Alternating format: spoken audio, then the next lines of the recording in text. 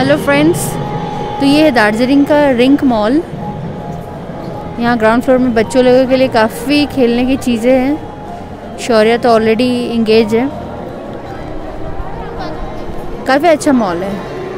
यहाँ पे एक्चुअली ये जो ओपन टॉयज़ की है, यहाँ पे कोई कार्ड वार्ड की ज़रूरत नहीं है। यहाँ पे कैश से आप यूज़ कर सकते हैं। जैसे हम लोगों के टाइम जोन गेम जोन में होता है कि कार्ड बनाना पड़ता है। यहाँ पे वैसा नहीं, कुछ सिस्टम यहाँ पे जो भी पसंद है कैश दो और खेलो।